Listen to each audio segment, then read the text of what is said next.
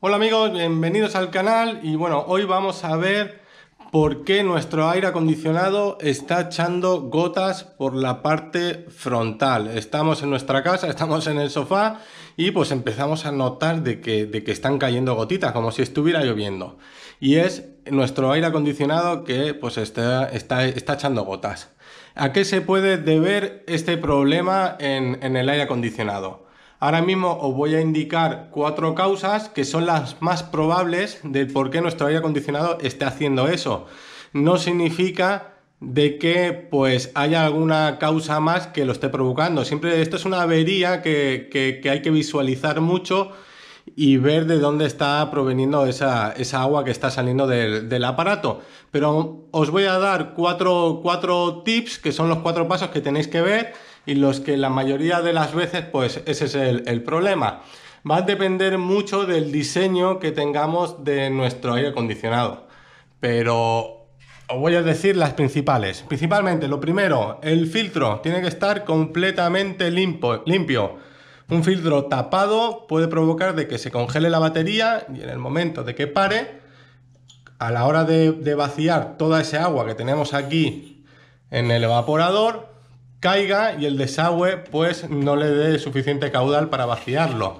Entonces esa agua que sobra la va a tirar por la parte de afuera y lo va, lo va a tirar el, ventilador.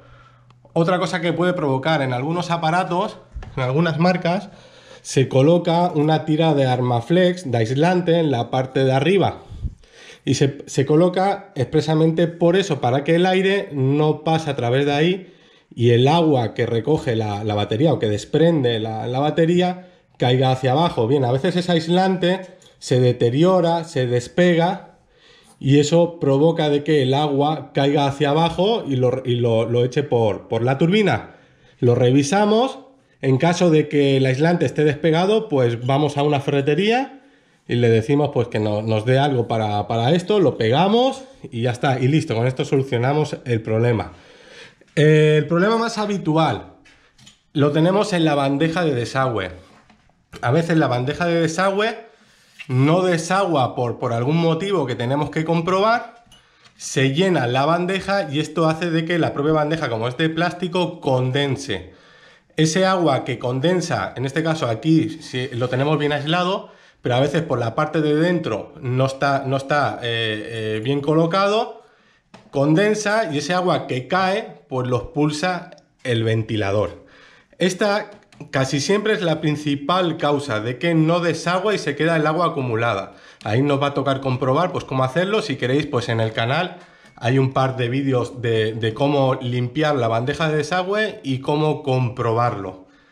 Otra, otro, otro problema puede ser de que la turbina esté completamente sucia. Entonces eso hace que en vez de echar el aire por la parte frontal, lo revoque por la parte de arriba y empiece a tirar gotitas. En el canal hay otro vídeo de cómo desmontar y cómo limpiar la turbina. Como ya os he dicho antes, es una avería que hay que mirar, no es algo que podamos decir, pues falla la sonda, falla el termostato, falla un relé, sino es algo que vamos a tener que observar. Pero ya os he dicho, pues las cuatro causas que normalmente es por la que está, está goteando nuestro aparato. Así que nada, esto es todo. Cualquier duda que tengáis sobre lo que sea, estoy en los comentarios y espero que os haya servido. Así que nada, hasta otra chicos. Nos vamos.